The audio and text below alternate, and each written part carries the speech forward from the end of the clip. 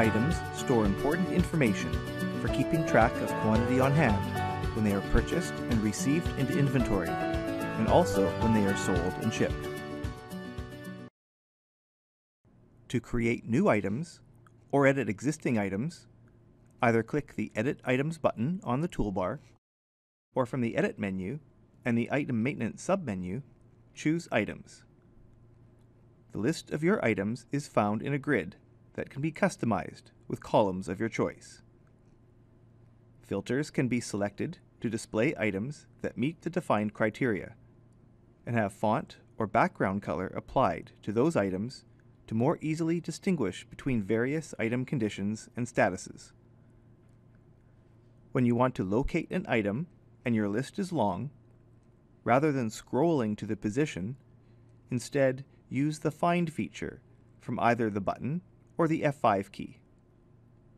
Either type the first few characters of the item number or description into the respective field to set the position in the Finder grid when pressing the F5 or down arrow key. Or instead press F6 to open a Smart Search function to locate the item with specified criteria. If you are creating new items, that are like one that already exists, you can copy it with all information carried over except the item number, or create a new item from scratch. When creating or editing items, information is displayed on several different tabs. Item numbers must be unique and can have up to 16 characters across up to four different segments, as determined by the item format you create in the company profile. One segment can be set to auto-increment when creating many items in succession, provided that segment only has numbers and no other characters. Give the item a description that will be used for searching, internal display, and printing on documents. The category code sets the accounting for item sales and provides default values for pricing discount levels. The control account sets the accounting for item purchases and adjustments and determines the cost of sale value when the item is sold. Enter or choose the unit of measure for stocking the item, which you can force to a valid value with a company profile option. Make the item not active if you don't want to purchase or sell the item. If you use Adagio Doc Store, you may attach PDFs directly to items for information display. And if you use Adagio Payments for online credit cards with Level 3 processing, the commodity code can be entered here if needed. The standard base selling price and sale price with date range are entered here. And purchasing and cost of sale values are entered here.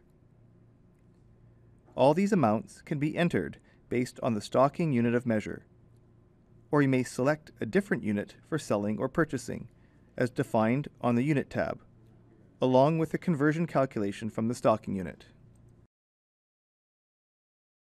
This tab also contains information used for invoicing programs, such as the item taxable status, whether serial numbers are required, whether an alternate item number can be chosen to sell if this one is not available, the unit weight for goods sold or purchased, the picking sequence for warehouse storage used for printing picking slips and performing physical inventory counts, and what the item price is for items that are marked up over cost.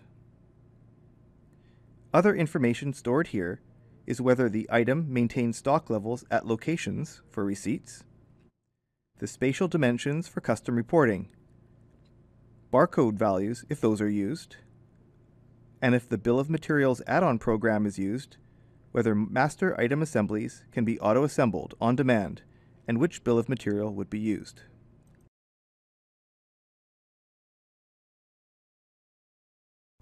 The Pricing tab has the setup for alternate item prices, based on customer level or quantity sold, for use in Adagio order entry and invoices. The Vendors tab contains either one or two payables vendors from which this item is purchased, which is used for receipt entry and in Adagio purchase orders.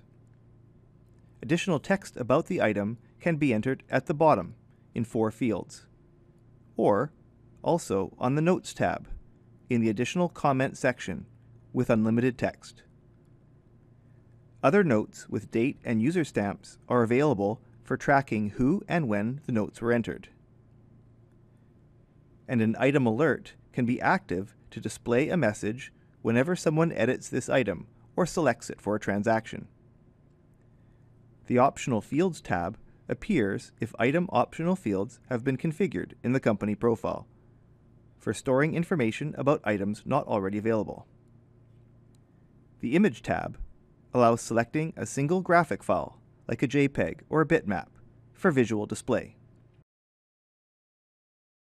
The last three tabs are available only if the security group assigned to the user permits access to these functions, which are also accessible from the Edit Item Maintenance menu.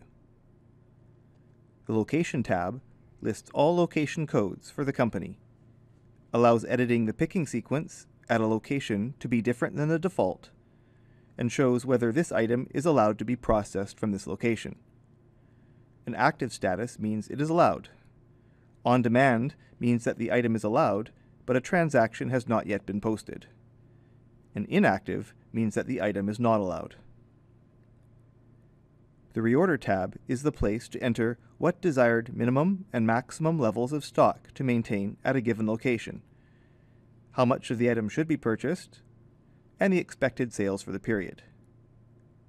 You can have a single set of annual values or multiple values if purchasing and sales volumes vary throughout the year.